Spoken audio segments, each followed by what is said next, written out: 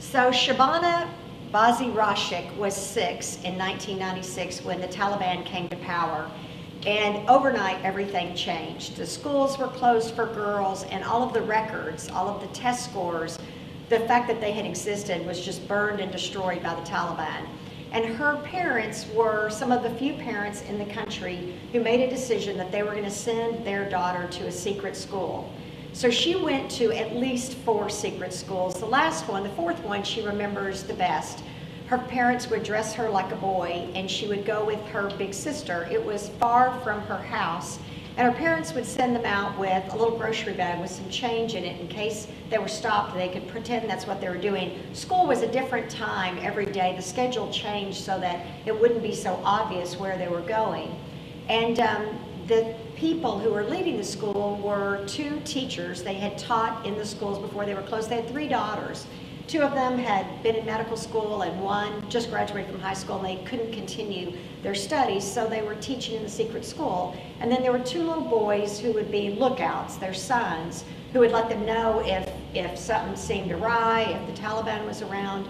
And um, some days they would, she would come to the school and the teachers would act like they didn't know her and act they didn't know them. And they would be, that would be a sign that they should leave immediately and go a different route.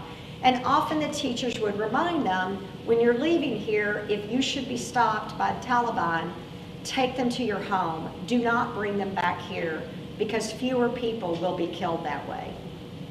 It's kind of a hard thing to imagine. You know, I think about sending your kid off to school and you're like, uh, look both ways, come straight home, but not like, uh, you know, in case someone tries to kill you, take them to your home, don't bring them here. So her life went on like that, and um, then, of course, you know, five years came. 2001, the United States, the Allies invaded Afghanistan, and almost overnight again things changed. And so in March of 2002, the schools were reopened for girls, but all the tests had been burned and destroyed, so all the girls had to retest. So they went to the school, thousands of girls, and they were tested. And then on the first day of school, they were grouped in groups of 60 and 70 um, based on their performance. And the girl who had scored the highest was the representative. So she went on the first day, and the teacher called her forward. And when she came up, the teacher said to her, Are you Shabana? And she said, Yes. And the teacher said, Oh no. And she turned around and looked, and she was 12 and everyone in the class was 18. And she realized then what her parents had done for her all of the time. She had gone to this secret school. She had thought, how can my parents do this to me? How can they risk my life? And then she had this sense of this is what they have preserved for me is my education. And so she ended up being kind of a star student. And as things would unfold, she came to the United States on an exchange program for high school students, and then she went to Middlebury College, kind of prestigious school in Vermont. And when she was there, it was kind of the first time she'd ever met people who, as she would describe, took their education for granted.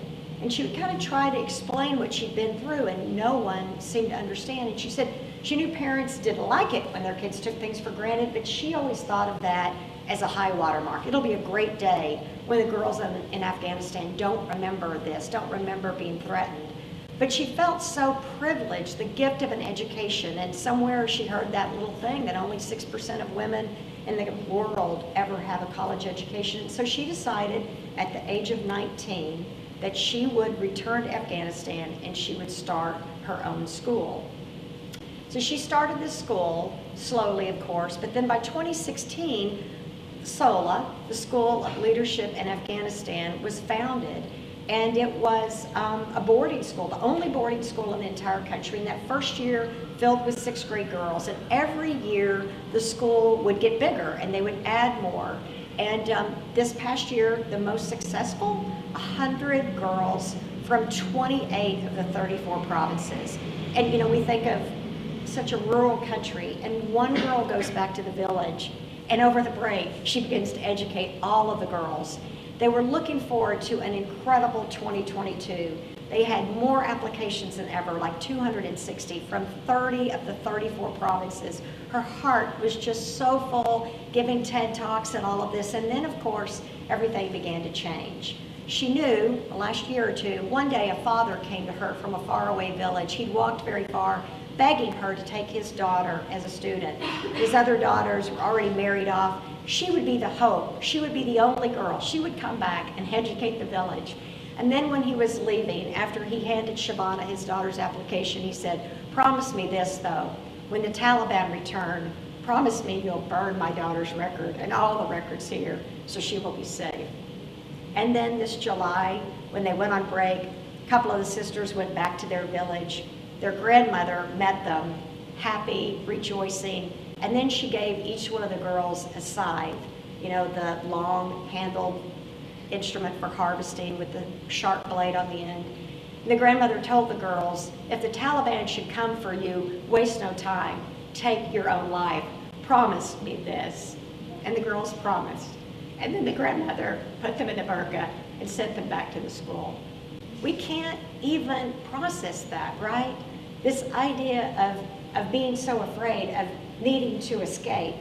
But it's not altogether rare. I think if you Google it, there's 82 million refugees right now on the planet. So many other people who've been refugees at time, right? And then in our own country, we have some people who've been separated and had to flee because of climate issues. Even if they're resolved, they change their home forever. And then in smaller ways, we have our own experiences too of being dislocated or feeling the need to be delivered or escape. We've got people in our own church right now who are kind of doubled over in physical pain from a back that just won't heal. And we've got some kind of rolled up in a ball from emotional stuff. And we've got people just going through regular lifestyle things like having to take their beloved who can no longer be in the home and put them into long-term care. And we just have our own stuff, right? And that might be why the scriptures are so much about escape and deliverance if you try to think about it, like what children's story in the Bible, what Bible story in the Hebrew Bible oh, is not about escape and deliverance. It's pretty much the whole thing, right? From Adam and Eve dealing with their shame to the great flood, Noah and the ark, to Jonah and the well, Daniel and the lion's den, Shadrach, Meshach, Abednego, the fiery furnace, Queen Esther delivering her people. The whole thing is about escape and deliverance. My Hebrew Bible professor in seminary always said, Scripture, three things. God is with us. God sees that which binds us and wants to deliver us from it. And God holds out a future of hope. Every single story. The big stories, Abraham and Sarah and Jacob and Esau and Joseph, they're all trying to deal with their own stuff with their family and trying to move away and not be damaged. And then the biggest story, right? The people are enslaved. And God does what? God delivers them. God leads them from Pharaoh and then cut parts the Red Sea and they're delivered. And then all of the Jewish holidays and celebrations, Passover, what is that a story about? Deliverance again. You gather in your home, you gather around your table, you open the Haggadah, you practice telling the story again, and now we're in another Jewish holiday of deliverance and celebration, Sukkot. It's not as familiar to us, but it comes at the end of the Jewish high holidays, which move around. This year, Rosh Hashanah, the Jewish New Year, was right at Labor Day. And then 10 years, 10 days later, after 10 days of atoning and saying you'll do better, then you have Yom Kippur, right? Which is the Day of Atonement. You say, I'm going to do better, you celebrate. And then five days later, Sukkot. And you may have seen your Jewish sisters and brothers in their own sukkah. The word sukkah, it means a booth or a tent. And it's this celebration where you remember what God has done for you. You remember that God delivered you, and when you lived in the wilderness, you just um, lived in this little temporary tent. So our Jewish sisters and brothers kind of put these tents in their backyard, and they're, you know, like stakes, and then they're kind of on three sides, netting, and then the top is supposed to be made of something like palm frond or bamboo. So Tuesday, my dear friend Rabbi Albert had our Torah group over to study in their Sukkot, in their sukkah, which um, is a great time because he's an incredible cook. So four of us sat there in this on this cool Tuesday morning. If remember, Tuesday was really cool, and the wind just blew through it. And together, these dear friends, all of us struggling, trying to lead congregations, we talked about what it means that God brings us into this new land, and then God commands us not to build a six bedroom house with a security system, but this temporary little shelter that's shaky and humble and precarious. And it's a sign that so are our lives, all of those things, right? That they're never completely firm, that they're this kind of, you know, transient, impermanent, fragile little place. And you see that again in the Jewish life cycle, you know, how a couple are married under the chuppah, under a little tent, right? It's a reminder that we have our houses, but what we really have is one another and one another's love and this promise that God will deliver us. So I was thinking about that this week. A good friend of mine, kind of going through a rough patch, he's a doctor. He's a phenomenal person. And I remember years ago, 30 years maybe, when we were young and he was just starting off his practice, chief resident, incredible guy, and he lost his first patient.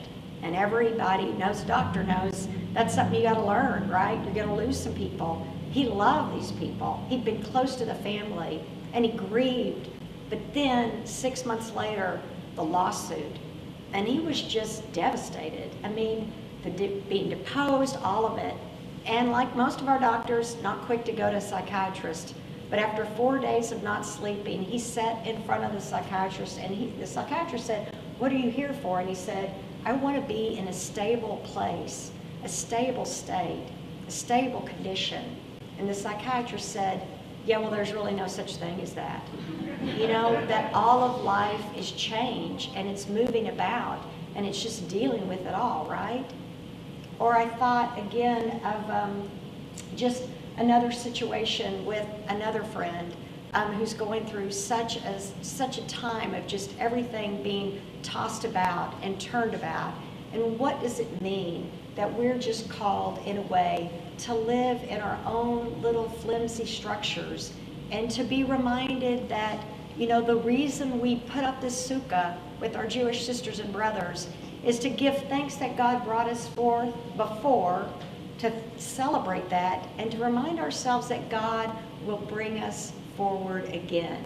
That we'll make our way out of this, that we'll figure out a way to deal with Christmas Eve, right? That we'll find a way to have theater and to celebrate and to party and we'll find a way to create a new world from this one. This is just a temporary place right now. So Shabana and SOLA, School of Leadership in Afghanistan, found themselves late this summer not celebrating their biggest class, but really trying to figure out how they could escape, how they could be delivered, how they could survive.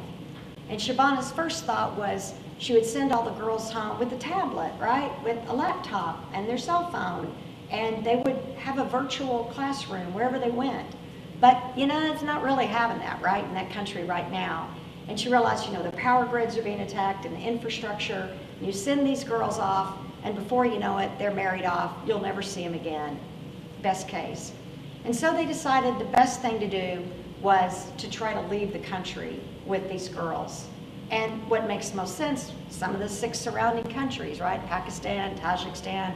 But the problem, of course, so many people trying to get out, there was no welcome, no welcome mat for them. So it was that in late August, Shabana and the girls, 250 in total, the, ch the children and the students and some, some family members, left to begin their school in Rwanda, where the president, who knew a little bit about a little bit about struggle and pain and refugee and warring factions, welcome them with open arms. I can't wrap my head around that. I mean, we gather here every Sunday, and I look at my teachers here, and we talk about the classrooms, and we think about the parents sending their kids off, and all the people are trying to deal with, right, with COVID and with virtual classrooms. Can you really imagine Rwanda? Like Afghanistan, they're not, they're not like next door. I'm thinking about this courageous woman who is seeing this as a study abroad, as a study abroad experience that will take those girls to a deeper, richer place, right? That will call them like every study abroad to like find out who you really are. Put yourself in a new culture, expose yourself and learn and grow. What if we could imagine the season that we're going into as our own study abroad, right?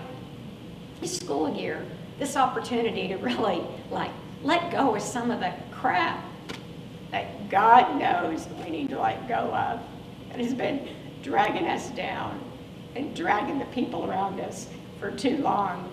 I mean, what if we just decided, this is my year and this is my time and I'm going to offer it up and I'm going to believe this God who brought the people through slavery, who led Dr. King, right?